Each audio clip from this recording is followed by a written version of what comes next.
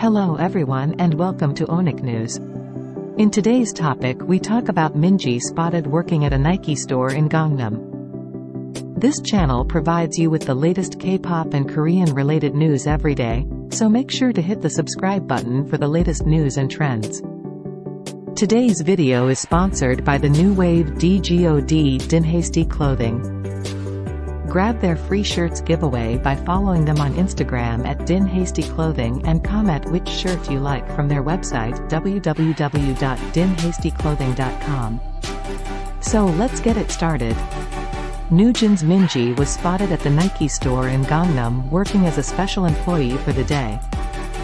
Minji was at the Nike store for the Gangnam Store Athlete Experience event and was seen greeting fans while wearing the employee card around her neck.